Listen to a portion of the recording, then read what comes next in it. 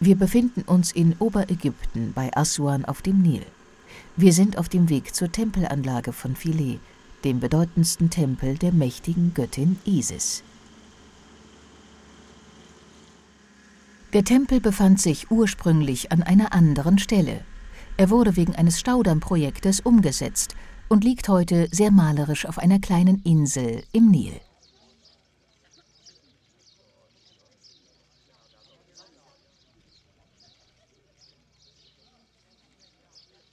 Der Tempel von Philae wurde erst relativ spät in ptolemäischer Zeit erbaut.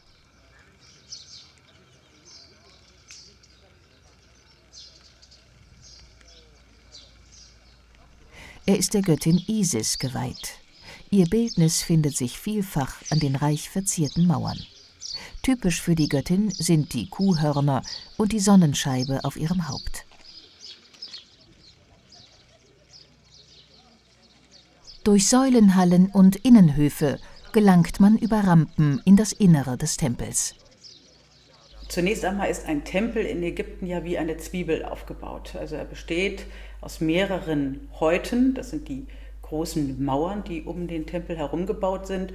Und je weiter sie nach innen gehen, desto enger werden diese Mauern, schließen sich dann schließlich um ein Allerheiligstes sehr eng zusammen. Im Allerheiligsten, dem Sanktuar, befindet sich der Altar. Auf dem Altar stand der Schrein mit dem Kultbild der Göttin Isis.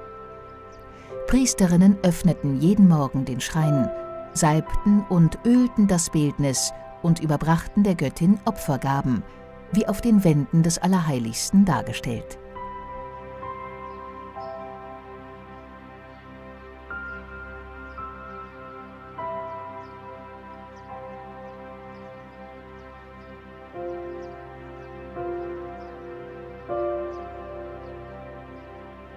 Die Decke des Sanktuars ist mit Greifvögeln geschmückt. Oft wird Isis mit Flügeln dargestellt.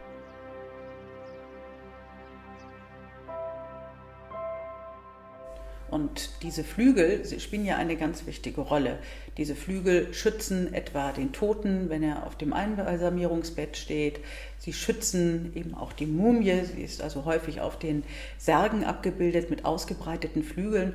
Und diese Schutzfunktion, die kennen wir eben auch später wieder von Maria, wenn sie als Schutzmantel Madonna erscheint äh, und unter ihren Mantel viele Menschen aufnimmt. Da haben wir durchaus wieder Verbindungen, die mit der schützenden Funktion der Mutter, der Frau in Verbindung zu bringen sind.